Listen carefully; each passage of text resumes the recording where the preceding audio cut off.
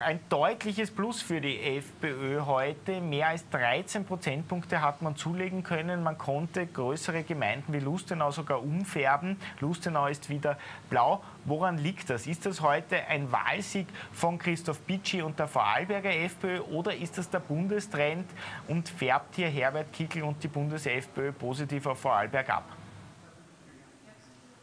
Sowohl als auch. Äh, es ist äh, klar, dass auch ein Rückenwind, ein politischer da ist aus Wien.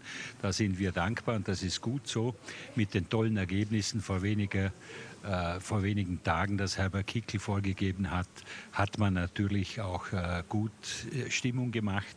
Das ist eine Sache. Und die andere Sache ist, dass Christoph Bitsche einen sehr engagierten und vor allem einen sehr seriösen, tiefgehenden, sachpolitisch dominierten Wahlkampf gemacht hat. Äh, beides wird dazu beigetragen haben, mit der guten Arbeit der FPÖ in den letzten fünf Jahren und einer eher schlechten Bilanz, wie ich es sehe, der schwarz-grünen Regierung, äh, ist das alles zusammen ein Ergebnis, das heute bei der FPÖ gelandet ist. Mhm. Herr Gorbach, Sie haben jetzt schon den Kurs von Christoph Bitschi angesprochen. Er ist ja auch als Liste Christoph Bitschi angetreten. Wie sehr unterscheidet sich denn Christoph Bitschi und die Vorarlberger FPÖ auch von der Bundes-FPÖ? Inhaltlich nicht. Christoph Bitschi trägt die äh, Sachargumente etwas moderater vor.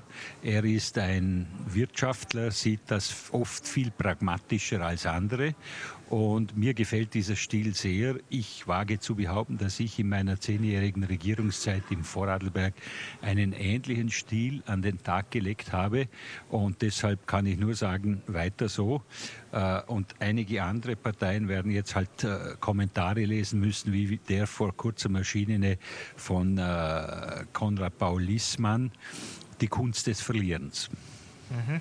Ähm, ist das jetzt ein Vorzeichen Ihrer Meinung nach für Schwarz-Blau in Vorarlberg? Wäre das die logische Koalitionsvariante nach dieser Wahl?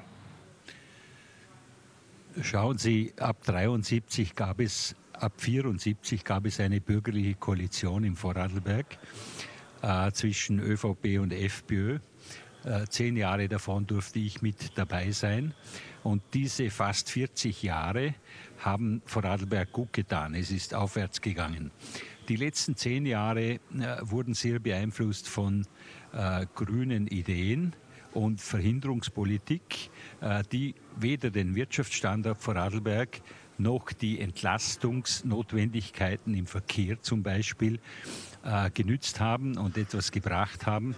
Äh, das war eine eher aus meiner Sicht düstere Zeit. Und deshalb ist es wichtig, dass die bürgerliche Koalition in Zukunft, äh, das ist auch der Wählerwille, glaube ich, dass die wieder die Sache auf Kurs bringt. Wie sehen Sie denn die persönliche Ebene zwischen Markus Wallner und Christoph Bitschi? Ähm, könnte das funktionieren? Wie verstehen sich die beiden? Naja, da hat es schon ein paar Scharmützel gegeben, die ausgetragen wurden. Aber in der Politik darf man nicht überempfindlich sein. Man muss auch immer die jeweilige Rolle verstehen, wie man überhaupt bei Konflikten versuchen sollte, sich in die Rolle des anderen einmal zu versetzen. Christoph Bitschi war in Opposition, da muss man etwas deftiger, kräftiger sein in der Ausdrucksweise. Äh, Markus Wallner als Landeshauptmann war da auch nicht immer ganz simperlich. Also ich glaube, man sollte nicht zurück, sondern nach vorne schauen in eine gute Zukunft für Vorarlbergs Wirtschaft, für Vorarlbergs Gesundheitswesen, für die Wohnungssituation und zusammenarbeiten, die Hemdärmel hochkrempeln und los geht's. Was für Auswirkungen könnte denn so eine schwarz-blaue Koalition in Vorarlberg auch auf Bundesebene Ihrer Meinung nach haben? Es hat schon einmal eine positive Auswirkung gehabt. Im Jahr 99 äh, durfte ich als Spitzenkandidat, also 1999, durfte ich als Spitzenkandidat das äh, beste Ergebnis bisher, das wird heute Gott sei Dank übertroffen, mit 27,4 Prozent erringen und erstmals in der Geschichte Vorarlbergs die absolute Mehrheit der ÖVP knacken. Das hat schon gut getan. Und damals war ein Monat später die Nationalratswahl im Oktober 99 in Wien. Und damals hatte die FPÖ bis jetzt äh, vor kurzem auch ein bisher unerreichtes Ergebnis mit 26,9 Prozent. Und so gesehen wird das schon auch ein bisschen Signalwirkung haben. Und ich darf auch feststellen, hier im Vorarlberg hat man wie auf Bundesebene von einer Richtungswahl gesprochen. Ja, jetzt hat der Wähler entschieden, jetzt wissen wir, welche Richtung er will, also gehen wir sie. Ähm, vielleicht noch abschließend auch zu der ÖVP. Die ÖVP hat zwar verloren, rund 5 Prozentpunkte, aber weniger, auch das muss man zusagen, als in den Umfragen prognostiziert wurde. Ähm, da war teilweise sogar von einem Kopf-an-Kopf-Rennen äh, die Rede. Im Endeffekt ist der Abstand zwischen ÖVP und FPÖ jetzt doch knapp 10 Prozent, sogar etwas mehr. Woran liegt es, dass die ÖVP jetzt verglichen zu den Umfragen etwas stärker abgeschnitten hat? Ist diese Strategie von Markus Wallner, hier ein Kopf-an-Kopf-Rennen herbeizusagen, ähm, äh, aufgegangen? Also erstens, äh, ich halte mich an die alte Politikerweisheit, Umfragen sind wie Parfüm. Man sollte daran riechen und schnuppern, aber niemals trinken.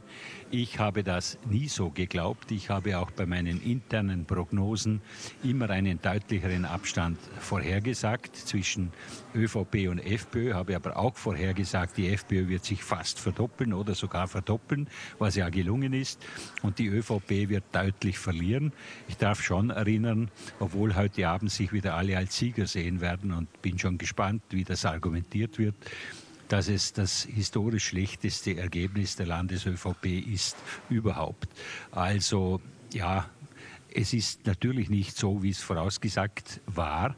Das ist auch okay, ist, glaube ich, eine gute Basis für eine äh, zielstrebige, gute Zusammenarbeit der bürgerlichen Parteien.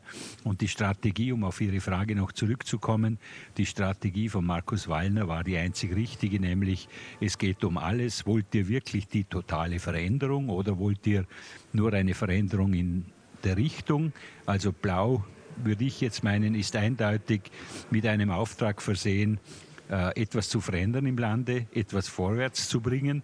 Ich erinnere mich da auch in einem Bereich, in dem ich halt äh, sehr firm und auch verantwortlich war, Straßenbau, Verkehr.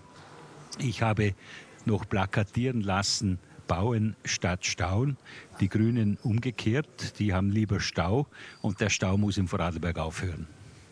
Und ganz zum Schluss noch, Sie kennen den Christoph Bitschi ja gut. Was ist denn das für ein Typ? Wie würden Sie den charakterisieren? Was zeichnet den aus? Er ist 33 Jahre, ganz ein junger äh, Politiker. Wird er Ihrer Meinung nach auch in Ihre Fußstapfen treten und früher oder später dann auch einmal über den Arlberg kommen Richtung Wien? Ich traue dem Christoph Bitschi sehr, sehr, sehr viel zu. Er ist blitzgescheit, ist nicht vordrängend, er hält sich lange zurück, überlegt, äh, findet auch wohl überlegte Worte zu schwierigen Sachthemen, argumentiert die gut. Mir hat der Wahlkampf ganz besonders gefallen diesmal. Und wir werden von Christoph Bitschi, glaube ich, noch viel hören. Aber zuerst jetzt einmal im Vorarlberg und dann schauen wir weiter.